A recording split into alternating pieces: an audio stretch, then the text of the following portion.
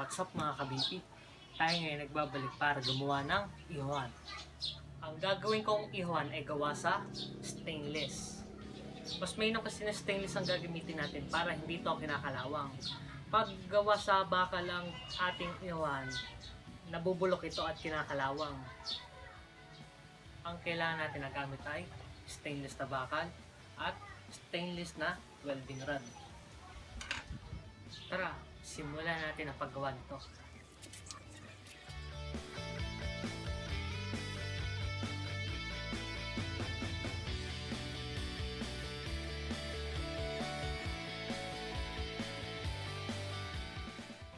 Ngayon guys, puputol tayo ng 20 cm. Ito yung magiging panggilid niya.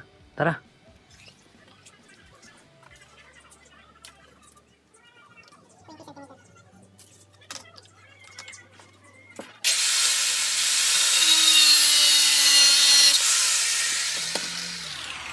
Ulitin pa natin to sa pangganto.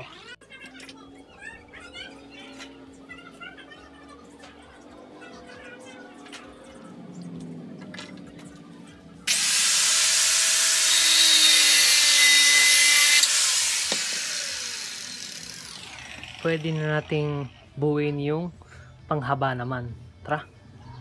Ngayon guys, puputol tayo ng 35 cm. Yan yung magiging haba natin. Ang kailangan na ganun ay labing isa. Tara, putulin natin ito.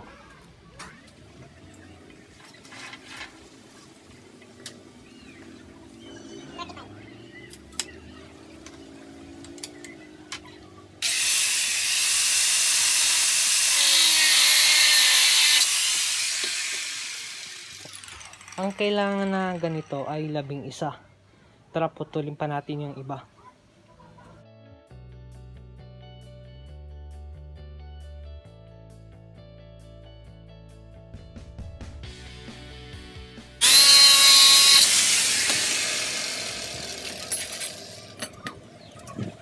Ngayon guys, kompleto na yung pinutol natin na labing isa. Ngayon naman bubuin natin to. We-weldingin na natin. Tara.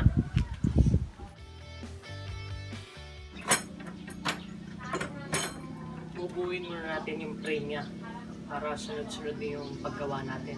Tara. We-weldingin na natin ito. Weldingin mo na yung side na yan. Susunod naman, ito. Yan.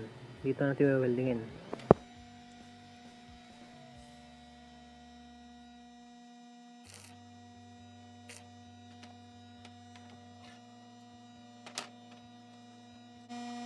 Bubuuin lang muna natin yung kanyang frame.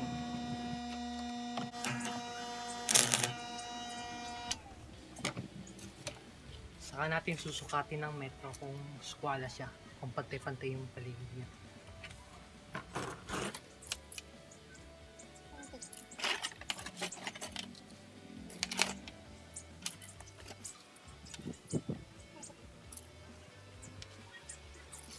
So yun guys, skwala naman siya. Kaya pwede natin tong ipagpatuloy. Ilalagay natin ito lahat. Bago yun, ilalagay natin yung tanda. Bali magiging tig to 2 cm ang pagitan niya sa isa't isa. Bali 2, 4, 6, ganon. Tara, lagyan natin ng tanda.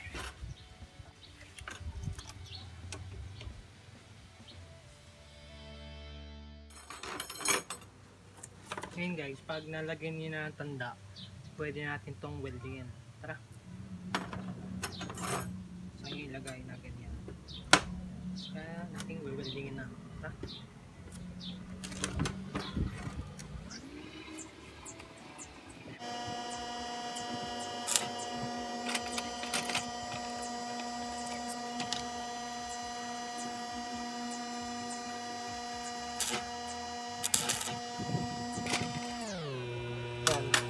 Pagpatuloy nyo lang. I will. Ngayon, pagtapusin ng weldingin yung gilid na to, welding naman naman natin yung kabila. Kaya lalagyan natin ng marka ulit. Yung may tanda na, weldingin na ulit natin to. Tara.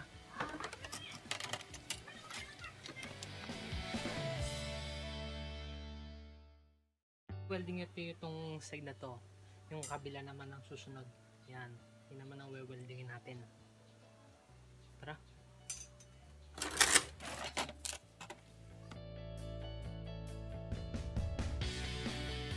Ngayon guys, pagtapos nyo ng weldingin, ay check nyo mabuti. Para uulitin natin yung ano, ipup- ipupul weld na natin.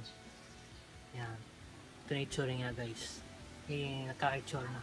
Lalagyan pa natin to ng hawakan, saka ng stand. Yan. Kaya pupul weld na natin ito. Tara. Kapag tapos yun na i-pull weld, i-grinder naman natin to para maging makinis. Yan. I-grinderin na natin.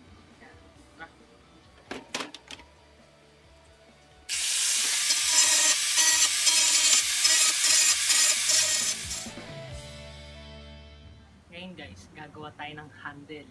Ganon. Saka ng suporta sa gilid. Para may hawakan na tayo pag nag-iihaw. Tara. Ang magiging haba ng handle natin ay 17. Dahil dodoblay natin ito, magiging 34. Yan. Tara, putulin natin ito. Magiging 34 na siya guys. Saan natin ito babalututin mamaya?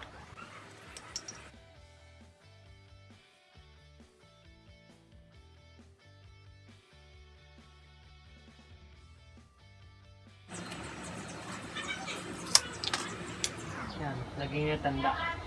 Yan magsisilbing gabay ninyo pag binaluktot niyo.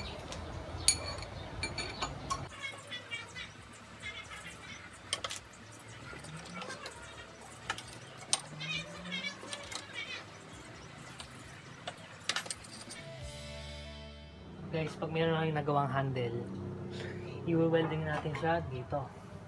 Yan, naka-stand siya. Tara, weldingin natin ito. Tapos ito yung ilalagay. Pakistan siya.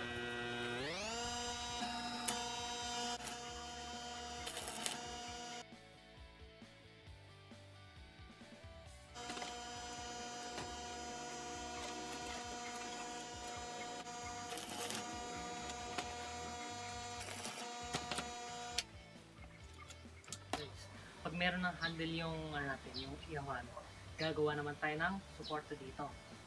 At sa kabilang sa magiging puto natin sa gilid na to ay 9 cm. Yan, sa magkabilang gilid. Kaya puputulin natin na.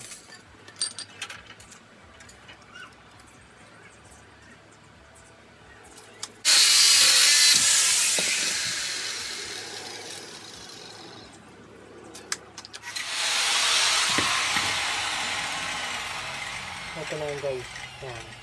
I-weldingin na natin ito.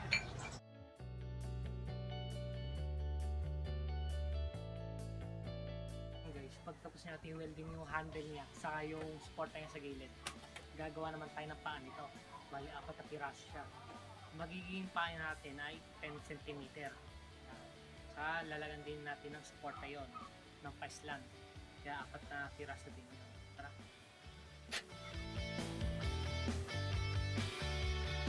Paislant nga pala nito ay 9 cm. Yan. Magiging 9 cm yung paislant niya.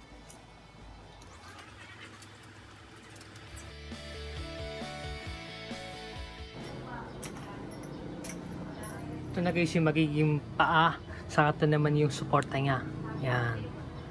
Kaya bubuin natin ito.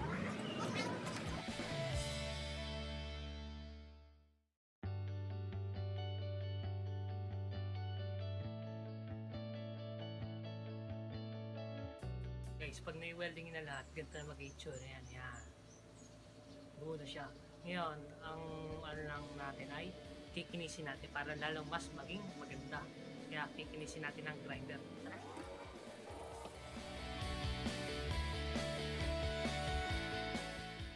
So, ayun guys, ito na ang kanyang finished product.